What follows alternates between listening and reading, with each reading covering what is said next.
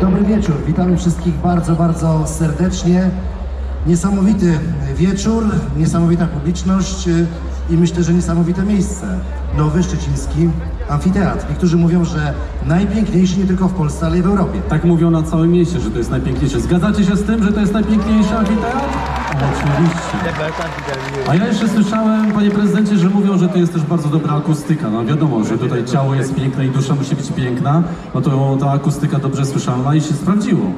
Y, To prawda i dziękujemy bardzo projektantom, którzy dzisiaj są tutaj z nami, wykonawcom, tym wszystkim, którzy nadzorowali tę inwestycję i przygotowali naszą imprezę. Wielkie brawa dla nich. Wielkie brawa dla nich.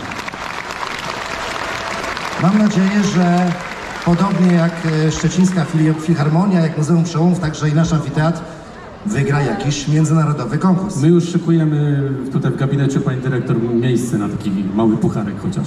No właśnie, słyszeliśmy już muzykę, no a teraz e, z panem Robertem zabawimy się w elektryków. Tak jest. Byli elektrycy, a my też to Tu próbujemy. jest taka magiczna kula. Tak, i uwaga, proponujemy wszyscy, żebyśmy razem odliczali od pięciu i z panem prezydentem włączymy tutaj ten pokaz. Zgadzacie się? Uwaga! Uwaga!